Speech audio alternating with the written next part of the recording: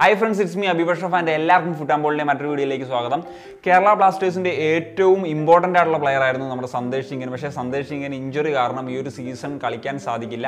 അദ്ദേഹത്തിന് പകരം എത്തിയ രാജു ഗെയ്ഗ്വാദ്. പക്ഷേ അദ്ദേഹത്തിന്റെ അനൗൺസ്മെന്റ് ഒന്നും ഇതുവരെ നടന്നിട്ടില്ല. പക്ഷേ ഓൾമോസ്റ്റ് അത് കൺഫേം ആണ്. അദ്ദേഹം ആരാണ്? അദ്ദേഹത്തെ അദ്ദേഹത്തെ എങ്ങനെയാണ് യൂസ് ചെയ്യുക എന്നുള്ള കാര്യമൊക്കെ ഒരു വീഡിയോ ചെയ്യാമെന്ന് ചോദിച്ചു. ഒരുപാട് സുഹൃത്തുക്കൾ മെസ്സേജ് ചെയ്തിരുന്നു. അപ്പോൾ അതിന്റെ അടിസ്ഥാനത്തിലാണ് ഈ ഒരു വീഡിയോ ചെയ്യുന്നത്. രാജു ഗെയ്ഗ്വാദിലേക്ക് വരുമ്പോഴത്തേക്കും ഇരുപത്തി ഒൻപത് വയസ്സുകാരനായിട്ടുള്ള ഈ ഒരു സെൻട്രൽ ബാക്ക് താരം മഹാരാഷ്ട്ര സ്വദേശിയാണ് ഇദ്ദേഹത്തിന്റെ ഒരു യൂത്ത് കരിയർ എന്ന് പറഞ്ഞു കഴിഞ്ഞാൽ അദ്ദേഹം ടാറ്റ ഫുട്ബോൾ അക്കാദമിയിലാണ്. അവിടുന്ന് അദ്ദേഹം സീനിയർ കരിയർ തുടങ്ങുന്നത് എന്ന് പറഞ്ഞാൽ പൈലൻ ആരോസിലാണ് ആരോസ് പ്രോജക്റ്റിലൂടെയാണ്.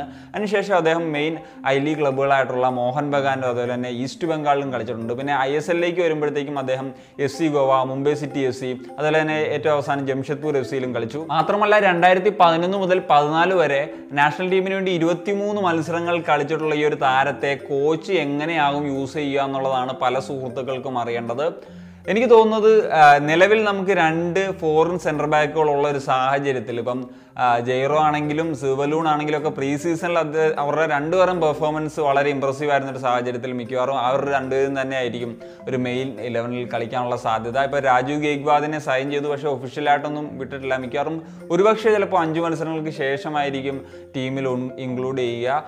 അപ്പം അതുവരെയുള്ള കാര്യം അത് കഴിഞ്ഞുള്ള കാര്യം അറിയത്തില്ല. എന്നിരുന്നാലും ഈ ഒരു താരത്തെ മിക്കവാറും ഒരു രണ്ട് വിദേശ താരങ്ങളെ ഉപയോഗിച്ചിട്ട് മിക്കവാറും ഒരു ബെഞ്ച് സ്ട്രെങ്ത് അല്ലെങ്കിൽ ഡിഫൻസിനെ ബാലൻസ് ചെയ്യുന്ന രീതിയിലായിരിക്കും ഒരു താരത്തെ ഉപയോഗിക്കാനുള്ള സാധ്യത. ഇപ്പം നമുക്കറിയാം ജിങ്കം പോയൊരു സാഹചര്യത്തിൽ നേരത്തെ ഒരു ഇന്ത്യൻ സെന്റർ ബാക്ക് എന്ന നിലയിൽ അബ്ദുൾ ഹക്കു മാത്രമേ ഉണ്ടായിരുന്നുള്ളൂ.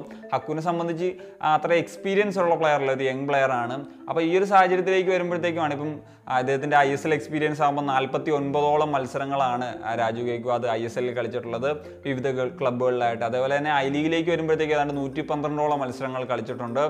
അതുപോലെ തന്നെ എ സി കപ്പിൽ എ എഫ് സി ചാമ്പ്യൻസ് ലീഗിലടക്കം കളിച്ചിട്ടുള്ള ഒരു താരമാണ് രാജു ഗെയ്ക്വാദ് ജിങ്കൻ ഇല്ലാത്തൊരു സാഹചര്യത്തിൽ ഈ അവസ്ഥയിൽ നമുക്ക് സൈൻ ചെയ്യാൻ പറ്റിയ ഏറ്റവും ബെസ്റ്റ് ഓപ്ഷനാണ് കാരണം അദ്ദേഹം ഫ്രീ ഏജന്റ് ആയിരുന്നു.